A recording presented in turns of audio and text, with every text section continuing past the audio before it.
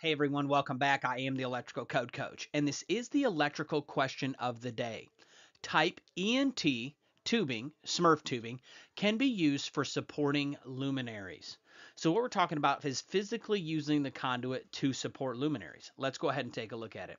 We're going to find this answer in 362.12, which happens to be the uses not permitted section if you've been following this channel for any amount of time.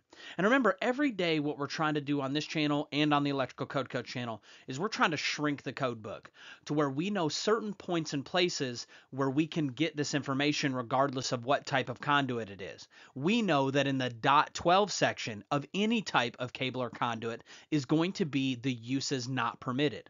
So with that being said, we're going to find in 362.12 the uses not for permitted for Smurf tubing. And this is in any hazardous location, except as permitted by other parts of the code, for support of luminaries or other equipment, where subject to ambient temperatures in excess of 122 degrees Fahrenheit, unless listed for otherwise.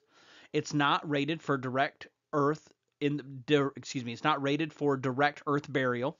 It's not rated for exposed locations, except as permitted by 362.10.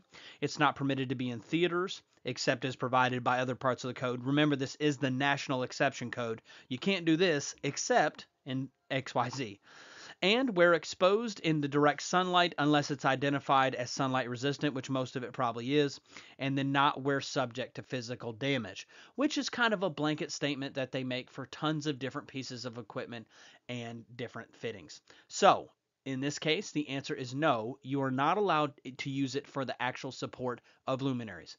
Matter of factly, there are very few instances and parameters where you are allowed to use conduit for the supporting of luminaries, but it is possible, most notably with rigid metal conduit. I am the electrical code coach, and my bargain is that these videos will add value to you, and you will in turn add value to others. If you click on the screen right here for $49.99, you can get a lifetime membership to our electrical exam coach website. I am the electrical code coach. Let's get to it.